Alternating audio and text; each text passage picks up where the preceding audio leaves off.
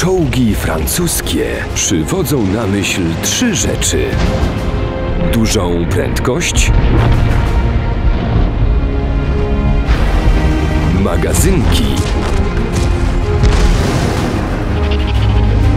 I brak pancerza.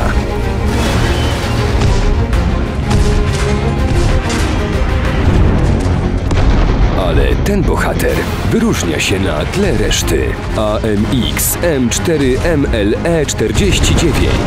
Ciężki rycerz ze stalową tarczą. Wkroczył już na pola bitew World of Tanks.